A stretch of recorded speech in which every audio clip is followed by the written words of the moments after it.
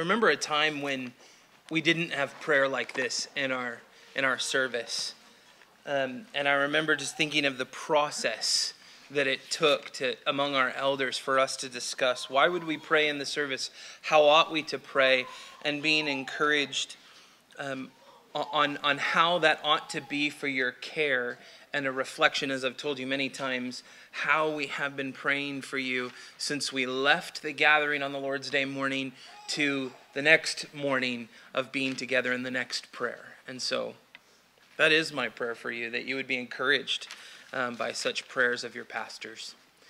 Um, let's go to the word now in Hebrews chapter 3.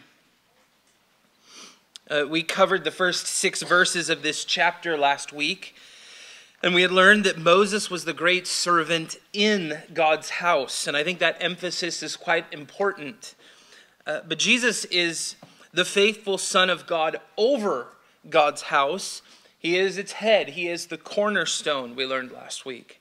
And the preacher of Hebrews had concluded by saying that we together are that house. We are the house of God. We are the people of God by faith.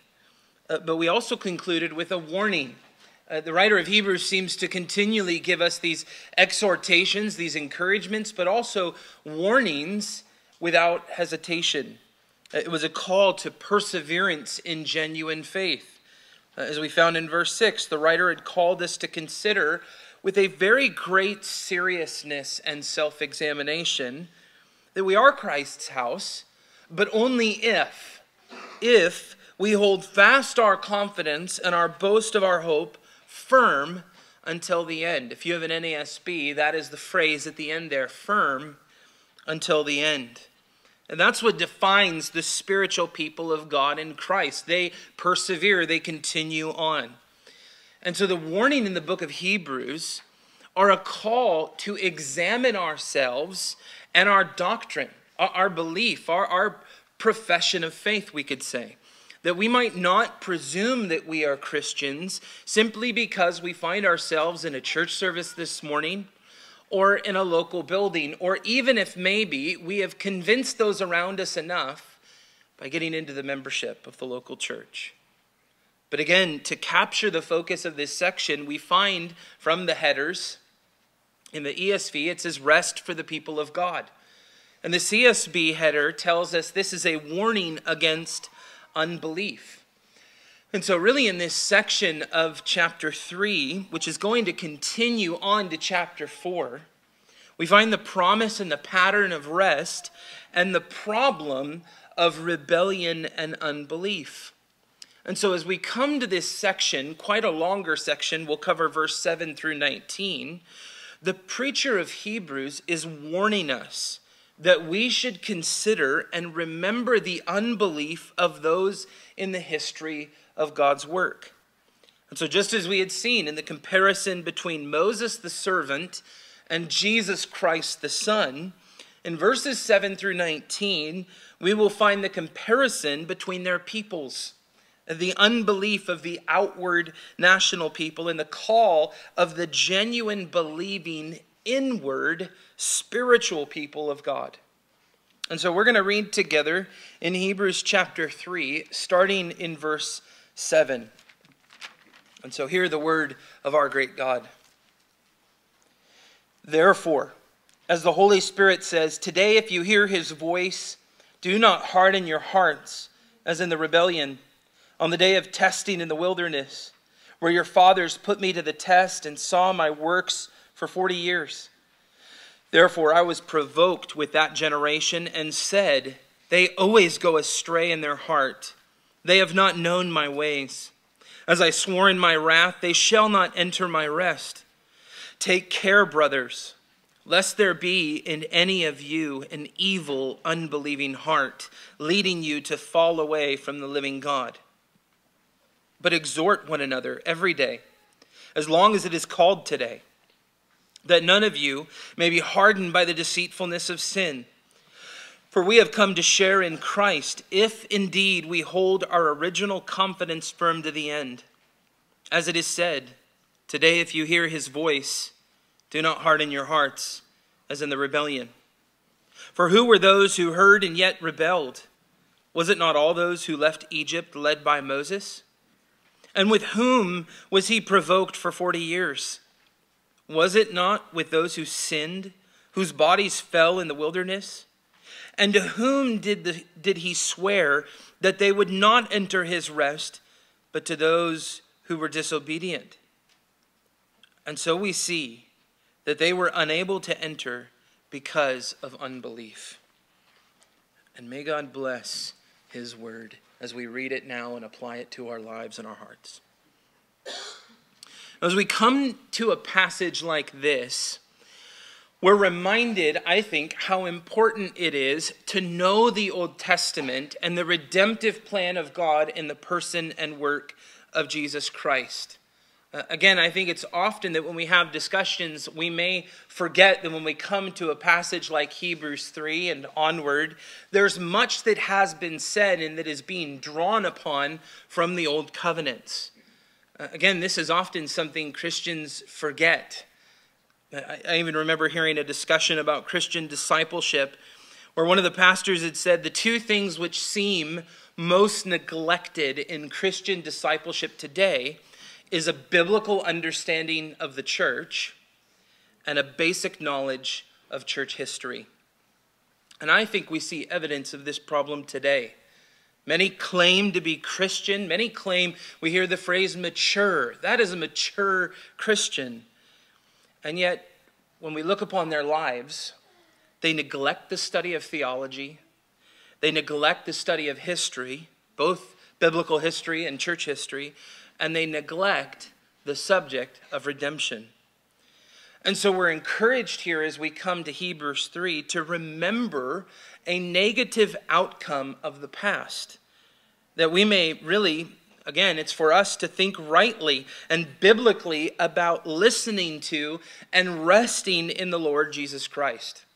Again, as we just read verse 7 through 9, the writer says, Therefore, as the Holy Spirit says, Today, if you hear his voice, do not harden your hearts as in the rebellion. On the day of testing in the wilderness, where your fathers put me to the test and saw my works for 40 years. Now, again, I told you I have no issue belaboring the point of what the therefore is there for. Uh, in fact, again, the therefore connects back to the warning of verse 6. And the preacher of Hebrews is telling us that the Holy Spirit is both the interpreter and the authoritative messenger of this Old Testament warning. And now, again, verses 7 through 11 in our exposition are drawn from Psalm 95. Uh, again, back in July, we had spent uh, one Sunday covering this psalm in an exposition. And we found in summary that Psalm 95 had within it the call to genuine worship and the command to wholehearted obedience. Again, as David urged his congregation, the first congregation and the recipients of Psalm 95, he encouraged them that we ought to look and listen to the word of the living God. And from that, as we listen and we look upon the word of the, God, of the word of God, we're to respond to the invitations and the warnings that had been even given to the previous generation. Again, we found in our call to worship that Psalm 95 has within it an incredible invitation. In verse 1 through 3 that we read, David writes, Oh, come, let us sing to the Lord. Let us make a joyful noise to the rock of our salvation. Let us come into his presence with thanksgiving. Let us make a joyful noise to him with songs of praise. For the Lord is a great God and a great King above all gods. And again, down in verse 6 and 7 of Psalm 95, we, we found the, the posture of genuine worship. Uh, David writes, Oh, come, let us worship and bow down. Let us come humbly. Let us kneel before the Lord our Maker, for he is our God, and we are the people of his pasture, the sheep of his hand. Again, this is the genuine call to humbly come before the Lord in genuine, wholehearted worship. But again, there's equally a caution to those who would come to worship the Lord. In fact, in turning to the last half of the psalm, which is what Hebrews 3 is directly citing, David is cautioning his own generation against heartless, hardened worship. And he's pointing them to wholehearted worship that looks forward to God's rest. And notice at the end of verse 7 and also verse 8 and 10, if you've already turned to Psalm 95, David says to the congregation, Today, if you hear his voice, do not harden your hearts as at Meribah, as on the day of Massah in the wilderness, when your fathers put me to the test and put me to the proof, though they had seen my work. Now, again, understand, as we had covered in, in our study of Psalm 95, to hear the Lord's voice was not only to listen, but also to obey. And so, as we hear the truth of the gospel today, we hear the good news about the Lord Jesus Christ, we hear the richness of all the benefits and the blessings that are found in Christ, and even our great need for Him. We're not to turn away. If we hear His voice, we ought not turn away and plug our ears. We are to hold fast our confidence and our boasting and our hope. We're to hear the gospel and obey, to listen intently and follow Christ wholeheartedly. Again, among the many reasons that the writer of Hebrews is citing Psalm 95, it seems that the preacher is drawing upon this citation in Israel's history to remind his own audience about the outcome of those who do not listen and obey the Lord. Again, from generation to generation, that is the warning and the call that in hearing the Lord's voice, we are not only to listen, but to obey. And so, just as David said in Psalm 95, the writer of Hebrews also wants to convey in chapter 3 the very sobering warning if you hear the Lord's voice, do not harden your hearts. Again, remember that the first congregation of, uh, of the book of Hebrews, those who are receiving this exposition, are those Jewish Christians that were likely tempted to go back to the old ways, to the old covenants. It's in a sense as though they're saying, We hear the voice of the Lord, we, we, we see the ministry and the benefits of the Lord Jesus Christ, but we also face great persecution. We face great difficulty. And so, what if we simply just go back? What was wrong with Moses? But again, this is why the preacher of Hebrews wants our minds to be on the example of old. Again, David's pointing out in Psalm 95 concerning the warning and the outcome of an unbelieving, hardened heart. Again, when Hebrews chapter 3, verse 8 and 9 is citing Psalm 95, we are pointed back very intentionally to Israel's history under Moses. Again, thus we're told in, in the warning against hardening our hearts that we're not to respond, as the psalmist says, as in the rebellion on, in, on the day of testing in the wilderness, where your fathers put me to the test and saw my works for 40 years. Again, the, the writer of Hebrews, the preacher, is simply paraphrasing uh, and saying this is in the rebellion.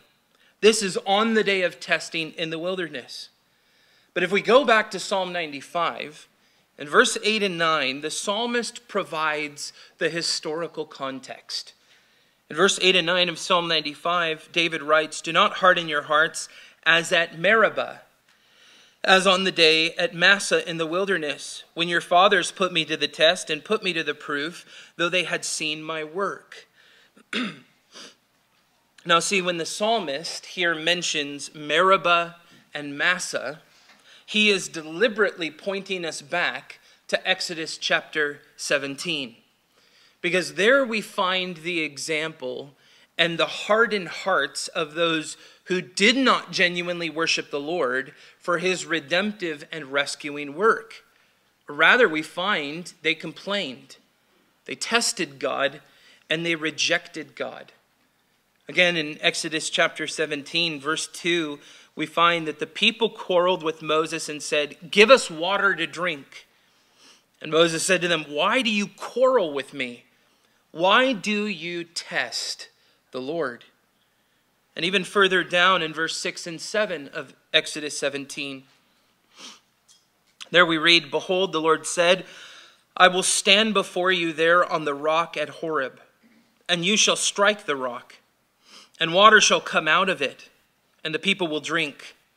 And Moses did so in the sight of the elders of Israel, and he called the name of the place Massah and Meribah because of the quarreling of the people of Israel, and because they tested the Lord by saying, Is the Lord among us or not? Again, church, here we come to the heart of the issue. And it is the issue of man's heart to not trust the Lord, to not love the Lord, and to not seek the Lord in his rebellion. Again, notice God's response in verse 10. The writer of Hebrews is citing Psalm 95, verse 10, saying, Therefore I was provoked with that generation, and said, They always go astray in their heart they have not known my ways. Now, again, Israel's rebellion there in Exodus chapter 17 was not due to a moment of thirst or fatigue. It was due to a constant attitude and posture of their hearts toward the Lord. And even though they had seen the wonderful works of God for 40 years, the writer tells us, they tested God and they rebelled against his commands. And in this, it became absolutely clear they did not actually love and obey God. Again, this showed that while being externally of Israel under the Old Covenant, both the psalmist and the preacher in Hebrews reminds us here what God had said. And that is that when they go astray in their hearts, it is showing, it's proving to us they have not known his ways. They have not believed upon his ways. Again, this whole passage in Hebrews 3 is focused on the warning of unbelief. And so, this is what is made clear in considering Israel in the wilderness that that generation had unbelieving hearts. Uh, again, God had continually revealed his saving work to Israel, showing them his desire for mercy. And yet, despite seeing God's ways, they did not know God. In other words, when the going got tough, the truth revealed they had never truly listened and looked to him. They had never truly known him. Uh, this is why in verse 11 of our passage, Again, we find a citation of Psalm 95, verse 11, where the Lord had said, As I swore in my wrath, they shall not enter my rest. Now, again, the full context of this oath of which God makes is seen in Numbers chapter 14. And I would encourage you to go back later today and read all of Numbers chapter 14 but we find in the middle of that chapter, in verse 28 through 30 of Numbers 14, the Lord had said, Say to that wicked generation, As I live, declares the Lord, what you have said in my hearing, I will do to you. Your dead bodies shall fall in this wilderness, and of all your number, listed in the consensus from 20 years old and upward, who have grumbled against me, not one shall come into the land where I swore that I would make you dwell, except Caleb, the son of Jephunneh, and Joshua, the son of Nun. Now, understand, in this, God had sworn an oath. And how Haldane in his notes points out in this comment that God had told to unbelieving Israel if they had entered into his rest in unbelief, he is not God. That is the seriousness of the oath. So we ought to ask what is God's rest? Why is this so important? Well, again, throughout the scriptures, throughout the Old and the New Testament, we're told that God's rest is first a reference to a creation ordinance in Genesis chapter 2. And we know quite simply in the first few chapters of Genesis, God created and then he rested. And when God had rested, he rested after finishing his work of creation. But again, we know if we go back to those few chapters of Genesis, that rest was lost in its perfect sense. It was lost for man to enter when Adam sinned. And because we are in Adam by nature, no longer would the fallen man love and obey God with all he is. His heart, from that point forward, was radically stained and affected by sin. And so, never again, since the fall in the garden, could man enter God's rest in the way in which he created it to be entered. He could not enter by his own work. In fact, he remained restless by an irreconcilable brokenness. And so, just like the wicked and restless generation in Exodus 17 and Numbers chapter 14, apart from trusting in the promise of the Lord Jesus Christ, we too are a people who go astray in our hearts, and we do not know the way of the Lord. Again, this is why, as we come now to verses 12 through 15, the preacher in Hebrews turns to us he says in verse 12, Take heart, or take care, brothers, lest there be in any of you an evil, unbelieving heart, leading you to fall away from the living God. Quite a serious reminder and exhortation. Now, in this, I often think about how many have sat in this sanctuary and they've come to this church for a time. They've heard the word of God preached and proclaimed. Some have, have even said, We are here because the preaching is biblical. They will see that, they will say that. And yet, in the end, it becomes very evident in their attitude and in their response to the call to listen and to look to and to trust in Christ. They were actually those who had an evil, unbelieving heart. Now, again, that's quite difficult to deal with. And please understand, there are some who have gone out from here for good reason. Moving away or not being part of this local church doesn't make someone a non believer. That's not the point.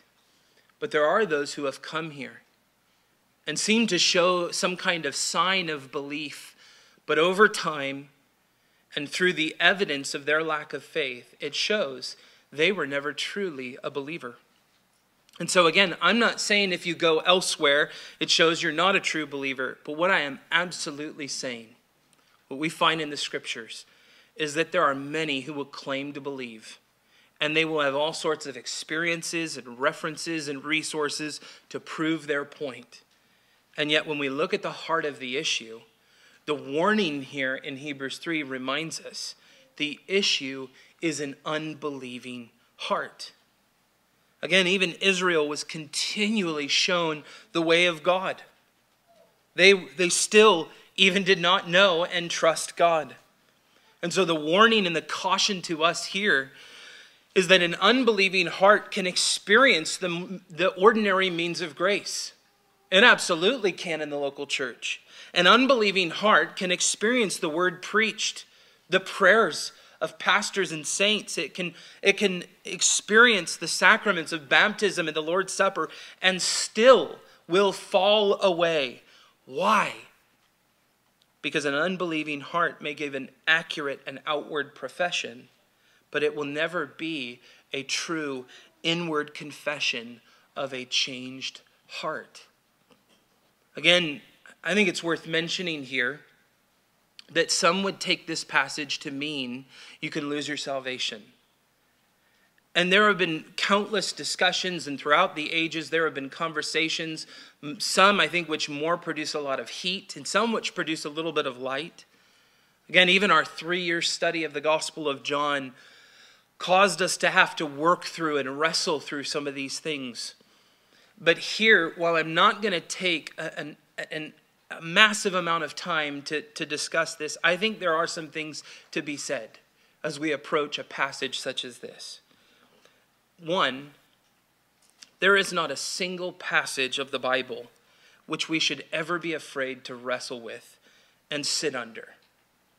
We should not be easily offended when we disagree. So long as we are willing to open and sit under the scriptures. And we ought to be humble in our disagreements. Because while there is one right interpretation of the scriptures, the arrogance of man has never produced one ounce of clarity. And so we ought not to come to one another with created position papers, but with humble hearts willing to sit under the scriptures. Now, again, as we come to this passage, I believe the writer of Hebrews is teaching us that genuine believers persevere by inward regeneration, but that false believers fall away because of inward rebellion. Again, it's no contradiction or assumption upon the word of God to believe that the Christian's assurance and responsibility harmonize in the New Testament. Again, I think it's because of this that the apostles gladly tell us, as in Ephesians 1, God chose us in him before the foundation of the world, that we should be holy and blameless before him. In love, he predestined us for adoption to himself as sons through Jesus Christ, according to the purpose of his will Paul says in 2 Thessalonians 2:13, "From the beginning God has chosen you for salvation through sanctification by the Spirit and through belief in the truth." And in Philippians 1:6, Paul says, "I am sure of this, that he who began a good work in you will bring it to completion at the day of Jesus Christ." And also at the same time without contradiction, we find such truths in the New Testament as in Luke chapter 13 verse 3 and in verse 5, where Jesus had said, Unless you repent, you will all likewise perish. Uh, Jesus had said in John chapter 10, verse 27 and 28, My sheep hear my voice. And I think that ought to tip us off to a connection to our passage. But Jesus said, My sheep hear my voice, and I know them, and they follow me. I give them eternal life, and they will never perish, and no one will snatch them out of my hand. And the apostle Peter says in 2 Peter 1:10, "Be all the more diligent to confirm your calling and election, for if you practice these qualities, you will never fall." And finally in Philippians 2 verse 12 and 13, Paul says, "Work out your own salvation with fear and trembling, for it is God who works in you both to will and to work for his good pleasure." None of these passages of Scripture, nothing in all of Scripture can, confronts us, co- provides for us conflicting theology in itself. Rather, I think we are shown here throughout the Scriptures that the Holy Spirit has revealed to us the perseverance of the saints and the preservation of God in the lives of whom He has chosen. But again, is there a very real warning in this passage to not fall away? Yes, absolutely. Uh, this is an exhortation and a call to stand firm to genuine belief by clinging to the hope of Christ and persevering to the end. Again, consider also that in the Gospel of John, we're continually reminded that there exists a type of external belief which looks, but it does not see it hears, but it does not listen. And it believes, but it does not trust. Again, John writes for us at the very beginning of Jesus' ministry.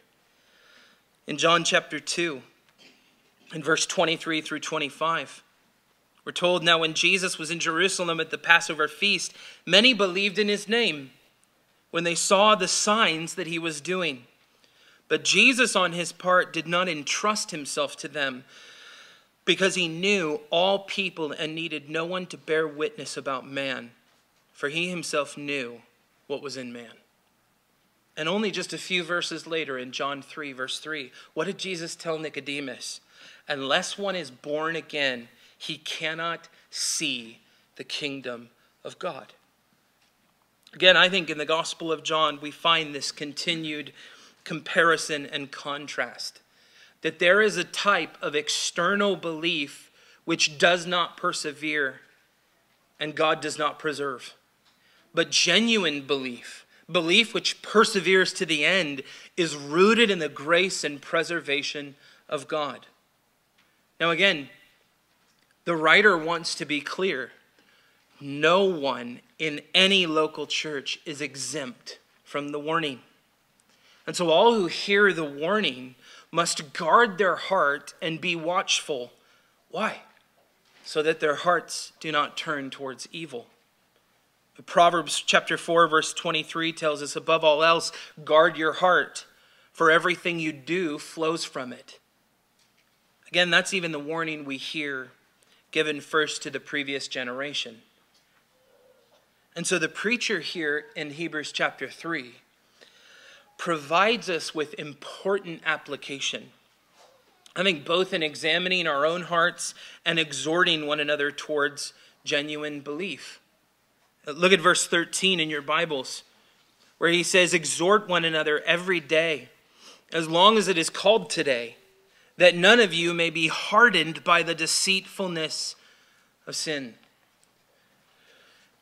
Now, again, when we consider the deceitfulness of sin and the pull of this world upon our hearts, we're reminded in the scriptures that hardening in our hearts has a very dangerous and damning outcome for those who go off into that deceitfulness of sin. Uh, again, even in Isaiah chapter 44, God describes the one who has gone off into idolatry. In verse 20, he says, He feeds on ashes he deceived, his deceived mind has led him astray, and he cannot rescue himself or say, Isn't there a lie in my right hand? His conscience is seared. He's been given over to the deceitfulness of sin. And so, again, in light of this and this very real problem, in our exhortation to one another against these things, we ought to remember we are to be pointing our brothers and sisters to the gospel of Jesus Christ. We're to encourage and we're to exhort one another to hold firm to the faith and not shrink back from the family of God. Again, later in chapter 10, the writer of Hebrews will tell us in verse 23 through 25 Hold fast to the confession of our hope without wavering, for he who promised is faithful. And let us consider how to stir up one another to love and good works, not neglecting to meet together, as is the habit of some, but encouraging one another, and all the more as you see the day drawing near. Again, church, to put it simply, we ought to greatly value the gathering of the saints, the fellowship of believers. Again, have you ever heard often people we use the phrase, I'm the church? And really, what they mean in that is not an identifying with the whole body of Christ. They mean it's just me and Jesus. They isolate themselves and they give in to what is a very worldly understanding of the individualism of man. And yet, in the scriptures, we're told we're a body, we are a building, we are the household of God. And thus it means our commitment level should not be upon which we pick and choose during the week, but the gathering of the saints on the Lord's day and the fellowship of believers among us ought to be the most important priority in all of our life.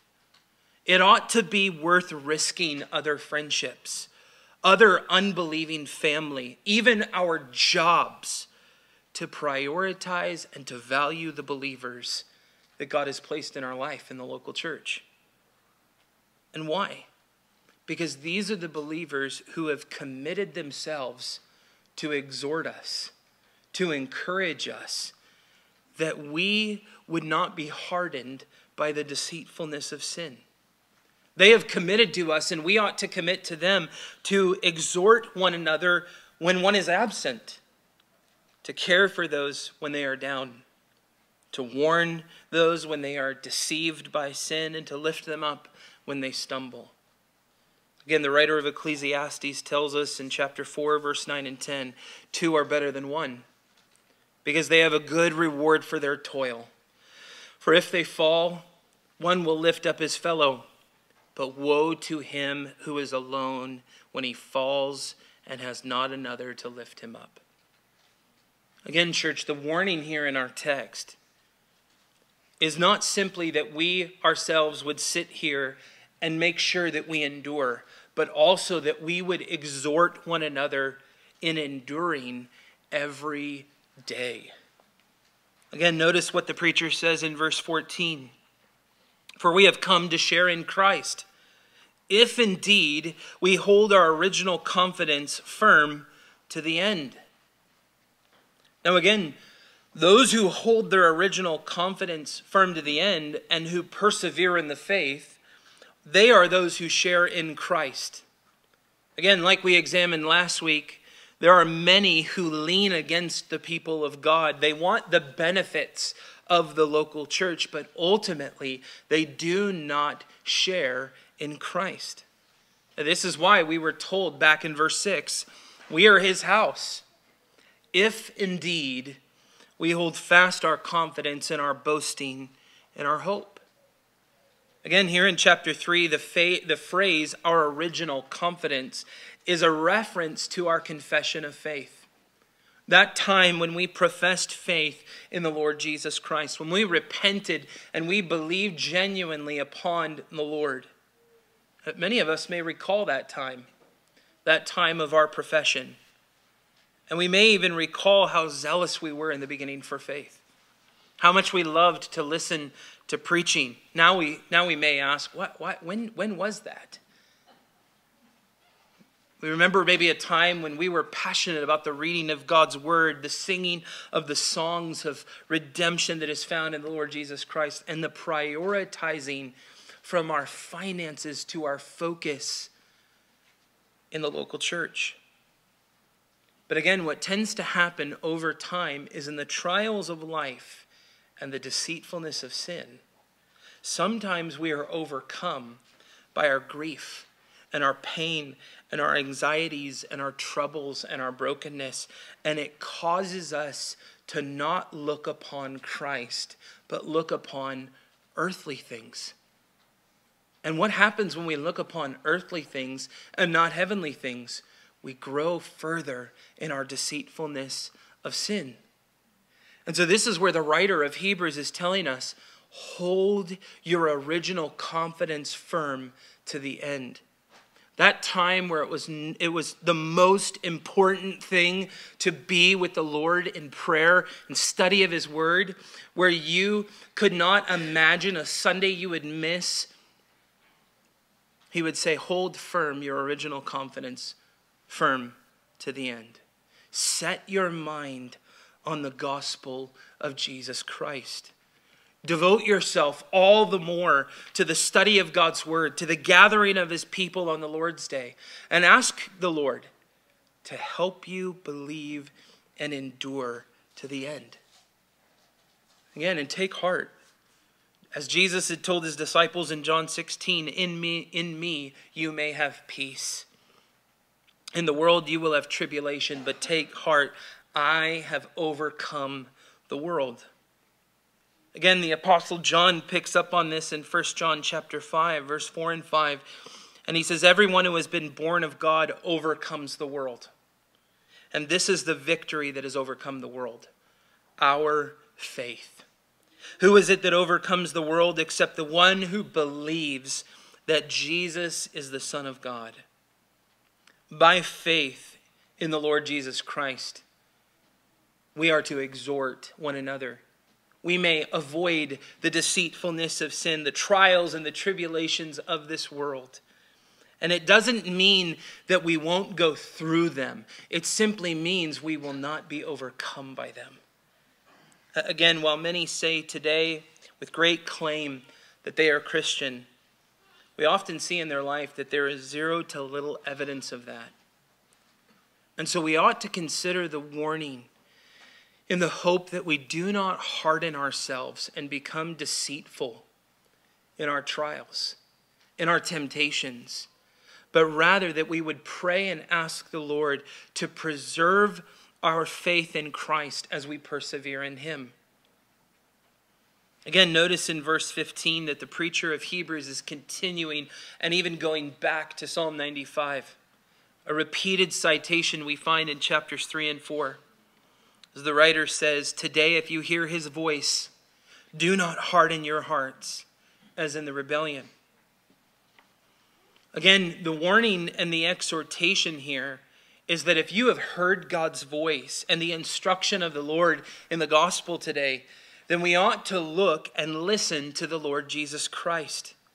We ought to listen to him and look to him and trust in him rather than hardening our hearts and walking away from even what we maybe even claimed once to obey and love and believe, just like the generations of old. Again, notice how the writer of Hebrews shows us this in the following verses. Again, we're reminded about the seriousness of the warning when he says in verse 16 through 18, For who were those who heard and yet rebelled? Was it not all those who left Egypt led by Moses? And with whom has the Lord provoked? Was the Lord provoked for 40 years? Was it not with those who sinned, whose bodies fell in the wilderness? And to whom did the Lord swear that they would not enter his rest, but to those who were disobedient? Again, I think it may be difficult for us in this time to wrap our minds around the extent of the rebellion and the disobedience of the people of Israel. But again, at the heart of the issue, we find they did not listen and obey God. They did not trust in the promises of God. And again, the Old Testament is helpful here to us. Uh, I think Deuteronomy chapter 1 specifically is helpful in understanding this issue. Moses writes in verse 26 through 33 in Deuteronomy chapter 1 Yet you would not go up, but rebelled against the command of the Lord your God. And you murmured in your tents and said, Because the Lord hated us, he has brought us out of the land of Egypt to give us into the hand of the Amorites to destroy us. Where are we going up? Our brothers have made our hearts melt, saying, The people are greater and taller than we. The cities are great and fortified up to heaven. And besides, we have seen the sons of the Anakim there. Then I said to you, Do not be in dread or afraid of them. The Lord your God, who goes before you, will himself fight for you, just as he did for you in Egypt before your eyes. And in the wilderness, where you have seen how the Lord your God carried you as a man carries his son, all the way that you went until you came to this place. Yet, in spite of this word, you did not believe the Lord your God, who went before you in the way to seek you out a place to pitch your tents, in fire by night and in cloud by day, to show you but by what way you should go. Again, friends, this is an example of hardened hearts which have turned away from the Lord in unbelief. Again, the writer tells us at the end of chapter 3 in verse 19. So we see that they were unable to enter because of unbelief. This is why Moses says down in verse 34 through 36 of Deuteronomy chapter 1 the Lord heard your words and was angered, and he swore, Not one of these men of this evil generation shall see, shall see the good land that I swore to give to your fathers, except Caleb and except Joshua. Now, again, remember the context and the subject of what we have been dealing with here in chapter 3, and even where the writer began. Uh, specifically, we considered verse 6 how Moses was faithful in the house of God, and he proclaimed the truth of the one to come. And we found that Moses' ministry was both to the offspring of Abraham according to the flesh and the offspring of Abraham according to the faith. But Jesus, the apostle and high priest, our apostle and high priest, is the son who is over the house of God. He has come to save and to restore the spiritual offspring of Abraham according to the faith. And so Jesus' ministry, as we're reminded, is superior to Moses because the Son has a better message. He has a people who will hear and listen to his voice. He is the mediator of a better covenant, and the rest he offers, which is found in himself, is the rest that is found in our risen and reigning King. And so by faith, we trust in the promise and faithfulness of God in the person and work of Jesus Christ. And therefore, we are looking forward to a better heavenly land, a better rest. Again, as we have learned, the promise of God's rest was never given to unbelieving people. But all those who come to Christ, who listen and obey Him, they find rest in Him. And so, this is why in chapter 4, we will see that as the writer of Hebrews tells us down in verse 3 for we who have believed enter that rest.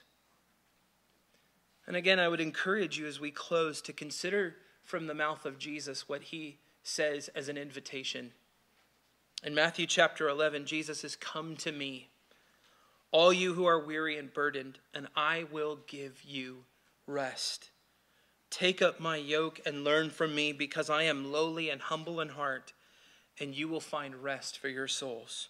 For my yoke is easy and my burden is light.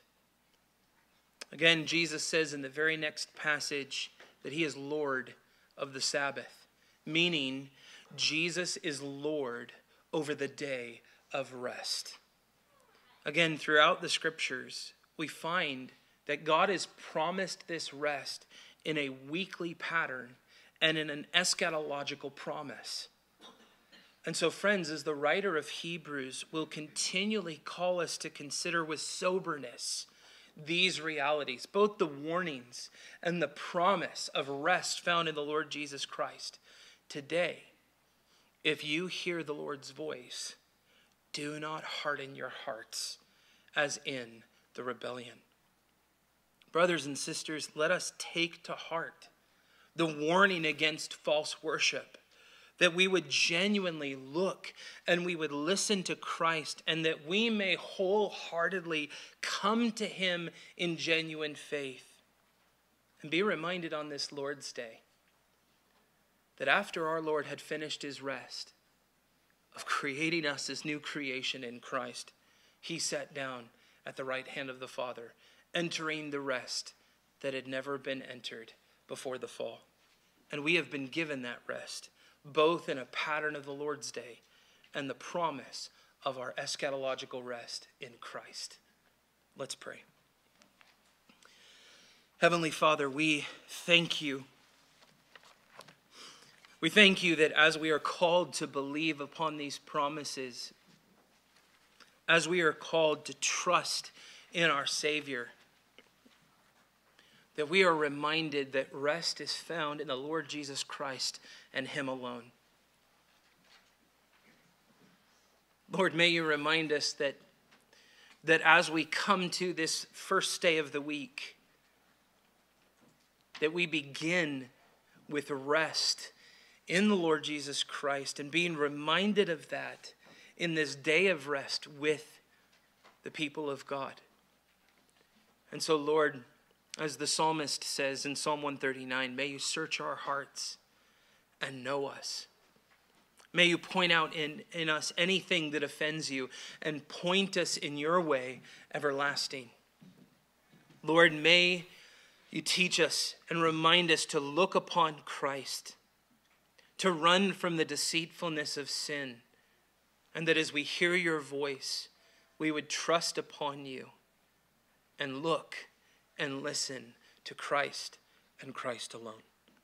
Lord, we thank you and we praise you for all of this. In Jesus' name, amen.